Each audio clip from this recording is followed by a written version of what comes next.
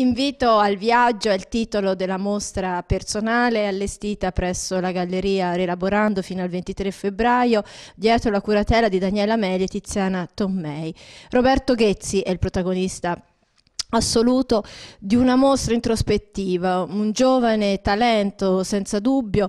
Roberto Ghezzi si è affermato sulla scena non soltanto locale ormai da qualche anno, risultando ben piazzato, addirittura vincitore a concorsi importanti. La pittura di Roberto Ghezzi può essere definita figurativa per certi aspetti, ma molto ben incentrata su un'indagine psicologica che si esprime attraverso vedute all'infinito, colori soavi, atmosfere sospese, donne nude dentro stanze praticamente soltanto illuminate da intensità di luce proveniente da un'unica fonte.